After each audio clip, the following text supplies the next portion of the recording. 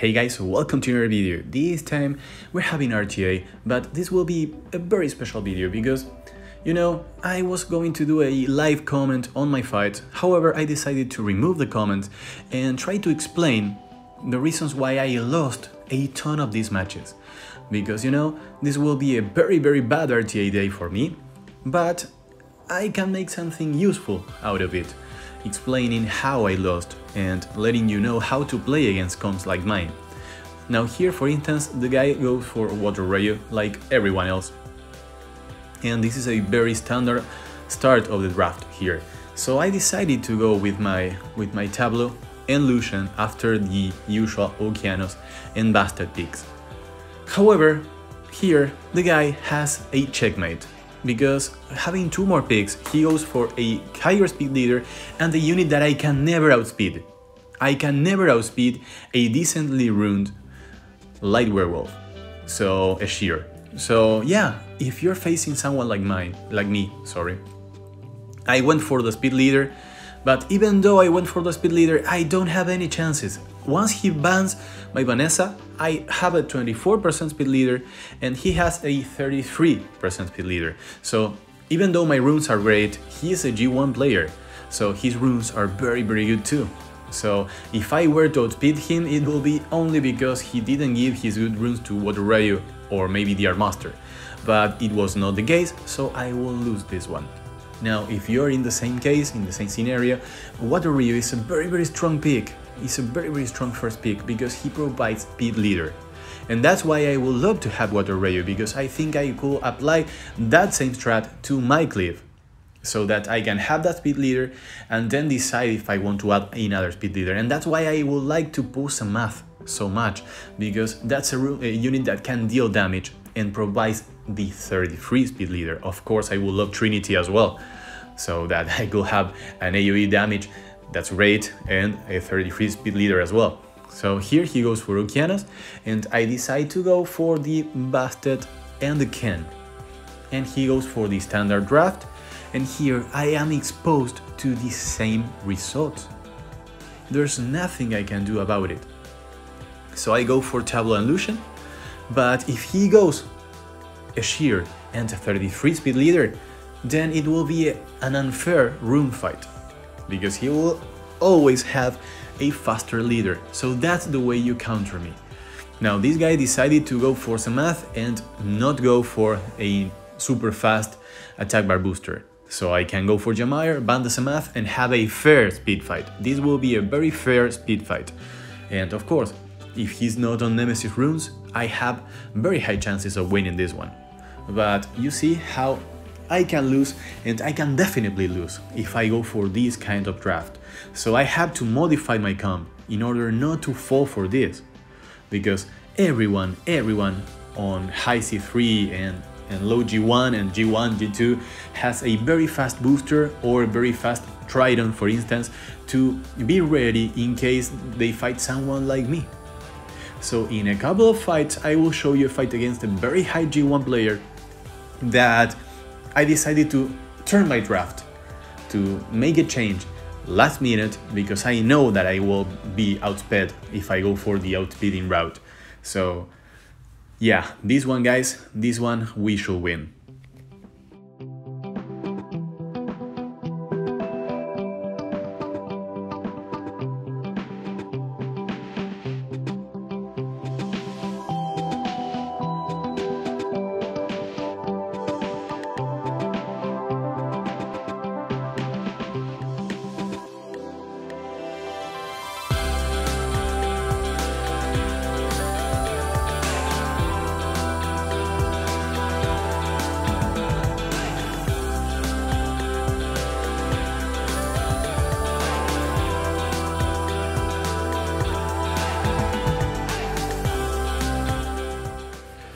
Here we go again. We start with the Okeanos and the opponent starts with a speed meta draft. The usual. Guys, you see how... So people are playing nowadays on high level RTA, they are playing either the Molly, Ragdoll, Leo comps or the super fast I strip you, I control you comps. And yeah, they have There are a ton of counters for those comps. Now he took my Tablo. That's really, really bad for me because he left me in a very, very tough spot. I was not expecting him to take my Tablo. Why would he take Tablo? So yeah, that destroyed my strat. So I go for Shimite, for his speed leader, but I am depending on another booster. So I had to go for Kabila, which is a booster that even if he bans my speed lead, I have a chance to use Kabila to outspeed him, even though he has a speed leader, because he's a mandatory speed lead. So I will ban the, the unit with the highest base speed so I can take turn 1. However, even though I take turn 1, I have two water, two wind units. So I, I had to pick the, the Shimite because he was the only, the only speed leader that I had that could provide me some AoE damage. But he was full of fire. So I, I highly need another unit that's a different element that can provide me a speed leader. For instance, Asamath as I told you before. So he, here I, I actually won the speed fight. I won it by a fair amount. So yeah, I know those units will be tanky. And what can I do here? I go for the AoE, trying to crit and maybe dismount the Beast Rider. And yeah, I depend on my Okeanos to hit the Beast Rider a few times, but I happened to hit her three times, I think, so it was not enough. The damage from my damage Okeanos was not enough so I will completely lose this one. And this is another way in which you can destroy me. If you take one of my main units, because I'm not ready to face a Tablo that far into the draft, you know, because I was drafting in order to get the Tablo and as last picks, so I can't change my game plan against so many fire units. It's very hard for me to do that. So here we go again, and against the c2 now because we were pushed out of c3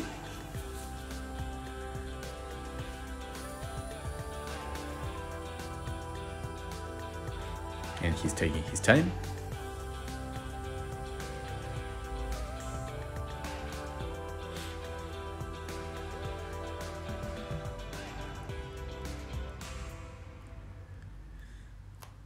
yeah you like myself are wondering why he's taking so long.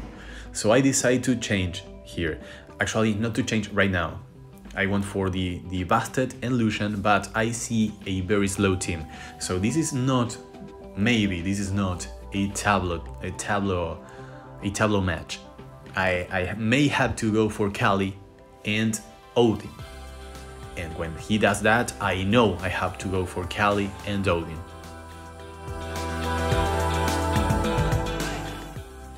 Because you know, Abilio is a very crazy counter for Tablo. So think about it guys, if I were to use Tablo and I were to reduce the, the HP of one of those units during my first run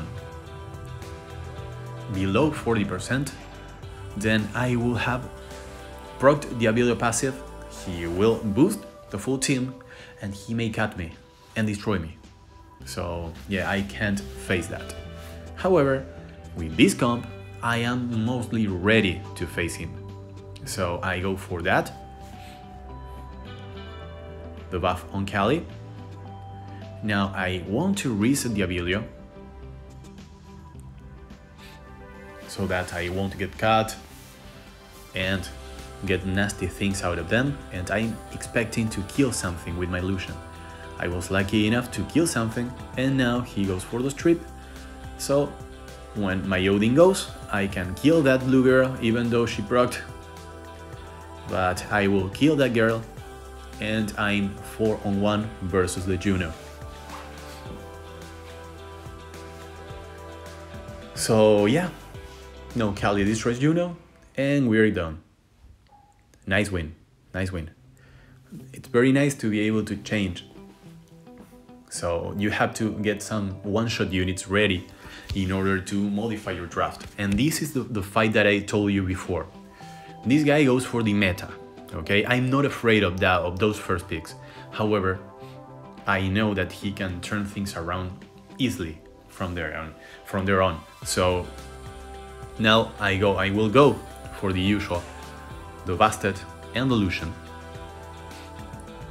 And I may have had to change that beforehand. The smart thing to do here would have been modifying my draft from the go.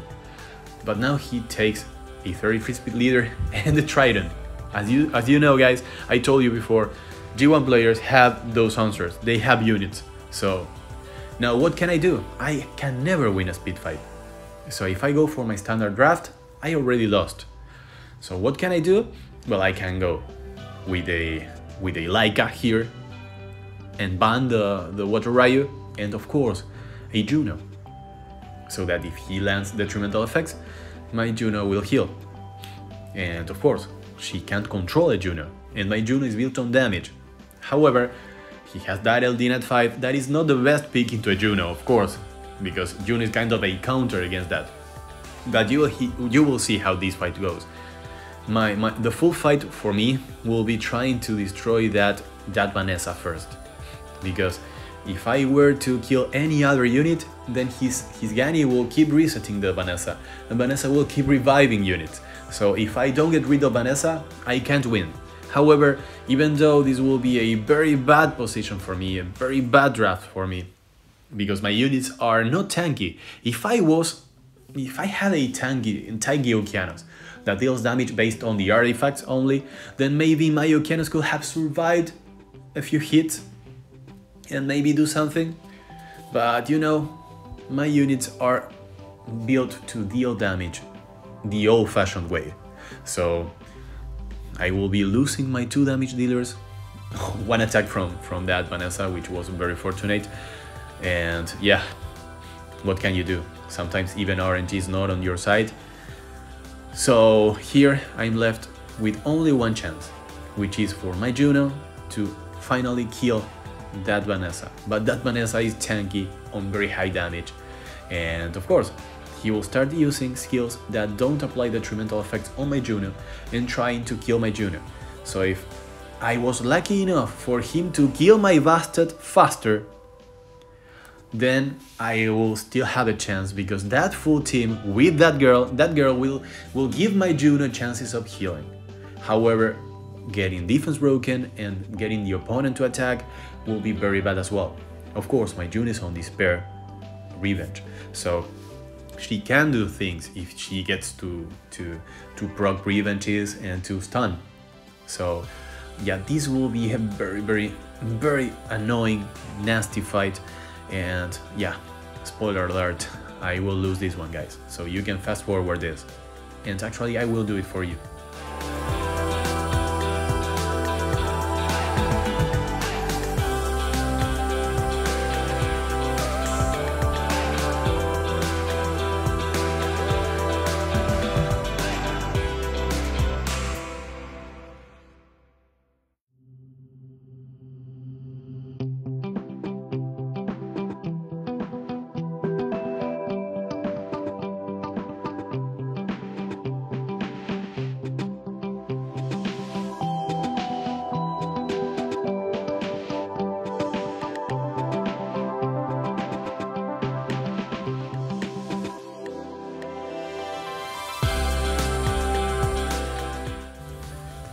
So here we are, one more fight.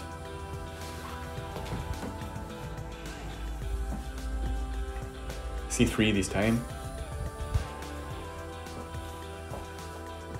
And he starts with Vanessa.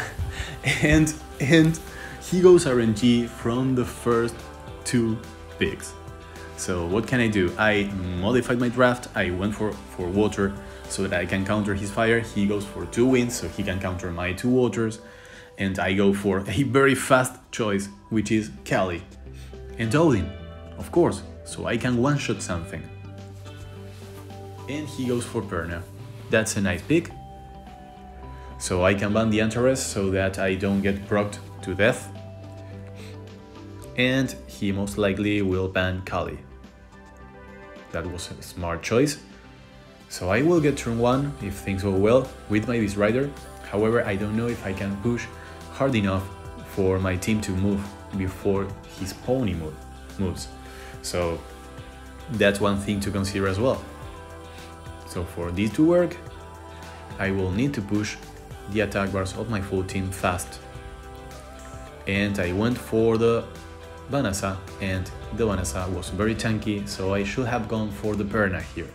So that that way I could have pushed further the attack bars of my team so my team could move before his pony. Now this guy didn't do a very smart thing here. He remains in, in, in human form. That's like suicidal. And even though he messed up, you know,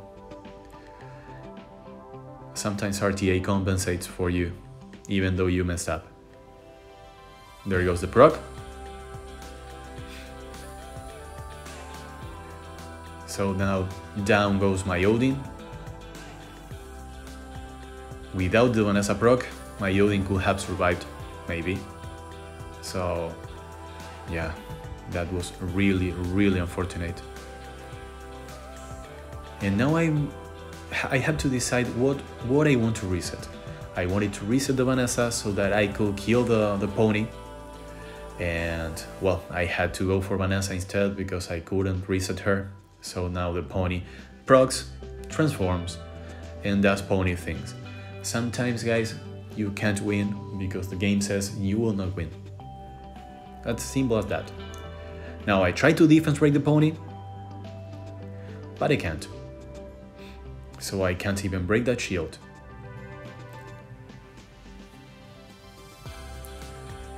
And well, what can I do? I already lost. I already lost.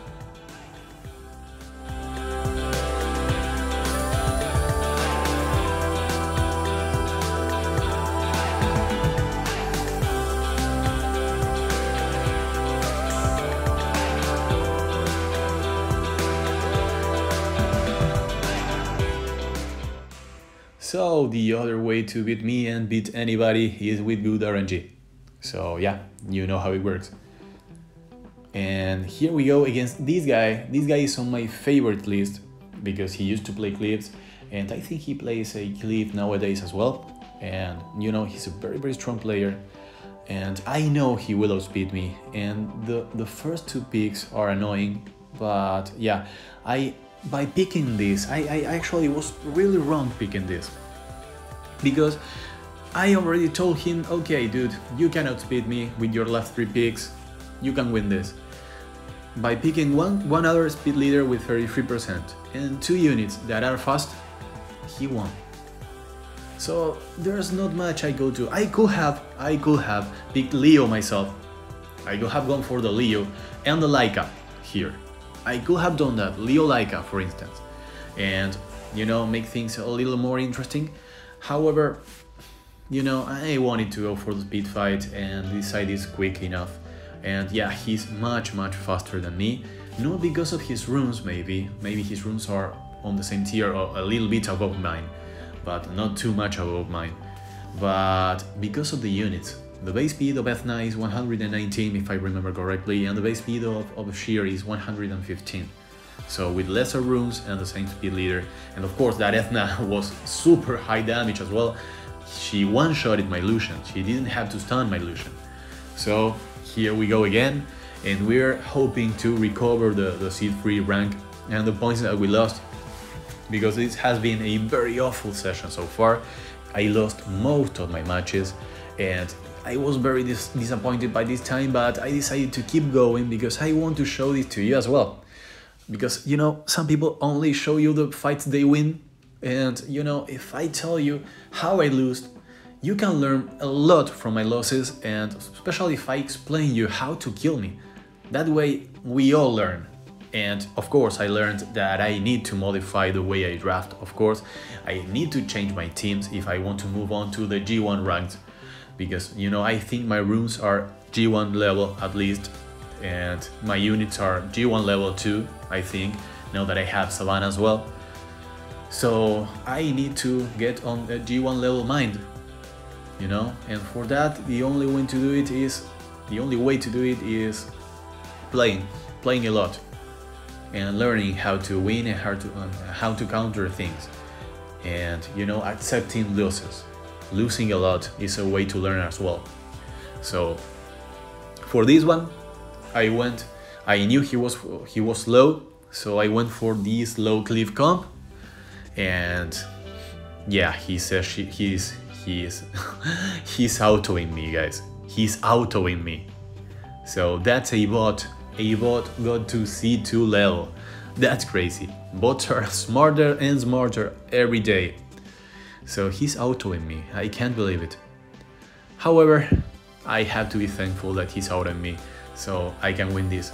Not with super ease. Oh yes, it was super easy. Well, who am I kidding? So yeah, I got a free win, and that's nice. That's always nice. And I want one more match after this because I want to recover the points. And even though if I win this one, even though I will have lost one more match than I won, I will have still gained points because you know I, I, my losses were against two guardians which don't discount a ton of points from me and against high level players so yeah that way my wins count and four wins against five losses net me about six more points than usual and now this guy starts with a Molo what can I do against that draft I go Bastet Lushen that's it you know what I'm going to do. I'm going to try to cleave you. He goes for a Fire Panda. A Fire Panda. And by this point, I, I, I still think that he's maybe a bot as well. And he goes Antares. I hate Antares. That's a unit that has to be removed from the game, in my opinion. So much RNG, so much cancer. And of course, when you use it, it seems like he doesn't do anything. And when the opponent uses it, it seems like he procs turn one all the time. So having Antares there, I, I don't think I can rely on Tablo and Jamire because if he was to pick a Leo after Antares, then I have to deal with one of them, of them with Leo or with Antares, and both of them are hard counters for Tablo comps. And there goes a Leo. And there is oh, Artamiel. Okay, so what can I do here? Of course, you know guys.